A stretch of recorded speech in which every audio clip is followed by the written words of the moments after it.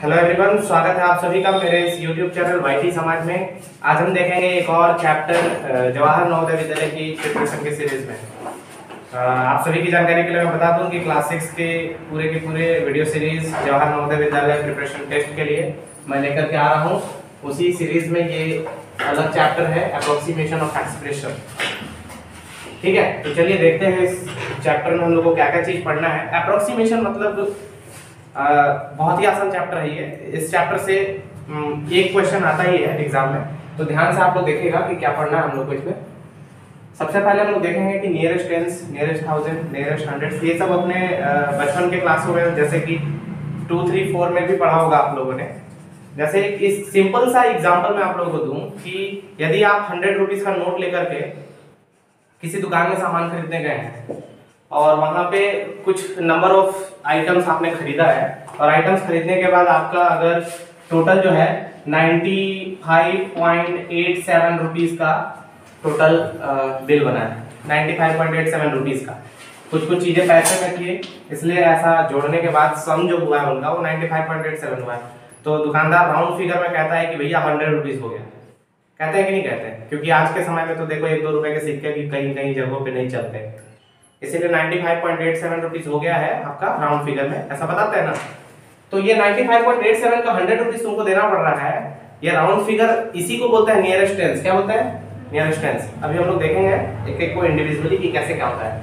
तो सबसे पहले चलिए मैं स्टार्ट करता हूँ। नियरेस्ट टेंस क्या होता है? नियरेस्ट टेंस क्या होता है? नियरेस्ट हंड्रेड क्या होता है? नियरेस्ट थाउज़ेंड क्या होता है? एक समझाने से सारा समझ में आ जाएगा आप लोगों को। जैसे सपोज़ यहाँ पे मैं एक चीज़ लिखा हूँ फोर्टीन सपोज़ क्या लिखा हूँ फोर्टीन अगर आपको बोले कि इसका नियरेस्ट टेंस निकालिए नियरेस्ट टेंस निकालिए तो अगर नियरेस्ट टेंस बोला है तो हम लोग को उस प्लेस पे पहुँचना है। ये है वंस प्लेस और ये है टेंस प्लेस हमको निकालना क्या है? नियरेस्ट टेंस तो टेंस प्लेस पे हम पहुँच चुके हैं।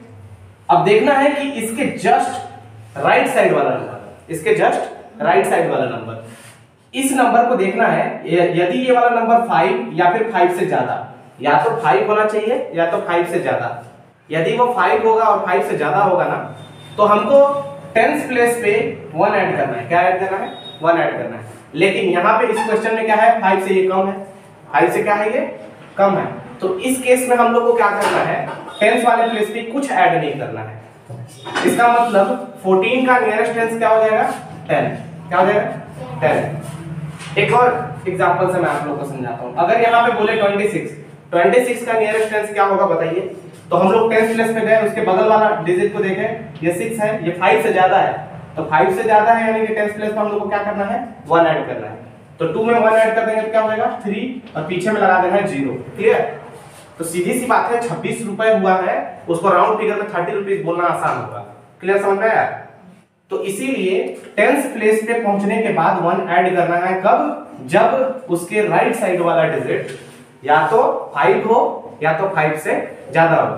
अगर आप लोग को 25 का भी राउंड फिगर पूछे ना तो उसको क्या लेना है? 30 25 का भी नियरेस्ट टेंस अगर पूछे तो उसको क्या लेना है? 30 क्लियर समझ में आया? इस तरीके से राउंड ऑफ़ करना है।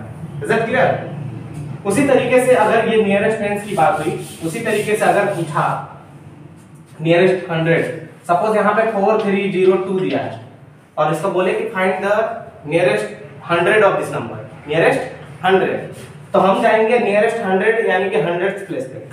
वंस टेंस हंड्रेड ये कौन सा प्लेस है? हंड्रेड ठीक है? तो इसके जस्ट राइट साइड वाला नंबर देखेंगे, ये ज़ीरो है, यानी कि फाइव से कम है।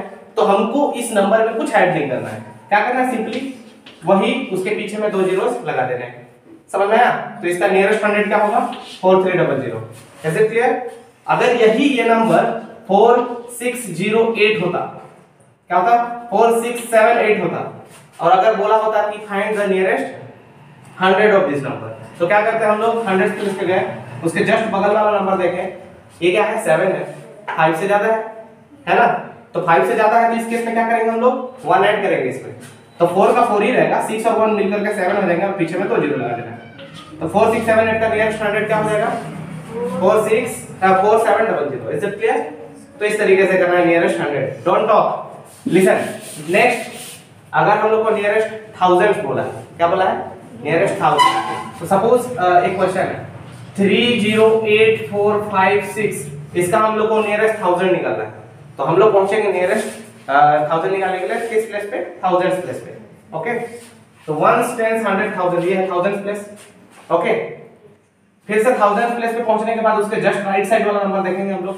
क्या है? फोर है. आइए तो क्या करेंगे? इसमें ऐड करेंगे कि नहीं? ऐड करेंगे इसमें? हम्म. क्यों नहीं ऐड करेंगे? सर क्योंकि उसके बगल वाला डिजिट फाइव से कम है। हाँ 5 से कम है वेरी गुड तो इसके बगल वाला डिजिट 5 से कम है तो 8 का एट ही रहेगा पीछे में क्या रहेगा? थ्री ज़ीरो और आगे वाला तो वैसे ही रहेगा ना? तो इसका नियरेस्ट थाउज़ेंड क्या हो गया? 308000 इज़ इट क्लियर समझ में आया सभी को? हाँ एक और कोई बताएगा मेरे को। सपोज़ यहाँ पे दिया हुआ है। 48765 इसका नियरेस्ट थाउज़ेंड क्या होगा प्राची? क्या करेंगे? तो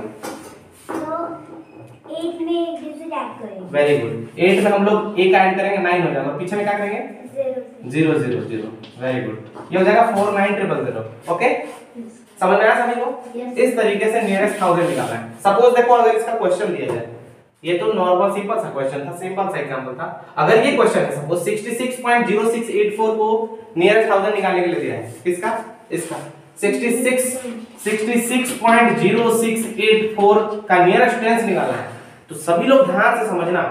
पॉइंट के इधर वाला डिजिट क्या होता है ये? टेंथ टीएचएस वाला। ये हंड्रेड्स ये थाउजेंड्स ये टेन थाउजेंड्स होता है ना?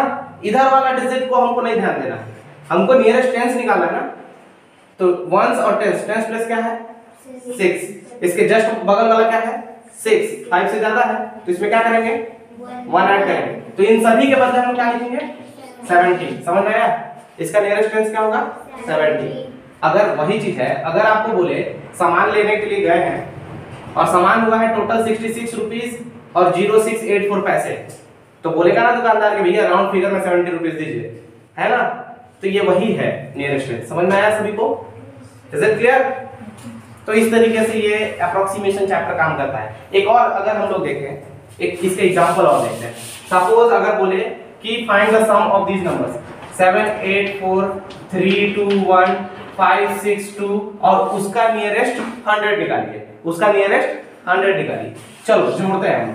4 1 5 और 2 7 ठीक है? 6 और 2 8 और 8 16 6 1 कैरी 5 और 3 8 8 और 7 15 15 और 1 16 वन सिक्स सिक्स सेवन आया टोटल ऐड करने के बाद। और बोला क्या है? सम का नियरेस्ट हंड्रेड निकालने के लिए। इसका नियरेस्ट हंड्रेड क्या होगा? One plus hundred hundred plus पे गए। इसके बगल में पहुँचे। ये क्या है? फाइव से ज़्यादा है। ज़्यादा है तो क्या करेंगे बगल में? ऐड करेंगे। तो सिक्स में वन ऐड करेंगे तो सेवन हो जाएगा और पीछे में दो ज़ीरो सोलह सौ सड़सठ रुपए का टोटल राउंड फिगर में कितना देना होगा? वन सेवन डबल ज़ीरो यानी सत्रह सौ रुपए। समझ में आया? इस तरीके से ये अप्रोक्सीमेशन चैप्टर का क्वेश्चन सॉल्व होगा। अब बाकी के चैप्टर के क्वेश्चन हम लोग देखेंगे अगले वीडियो में। तो फ़िलहाल इस वीडियो में इतना ही। तब तक के लिए थैंक यू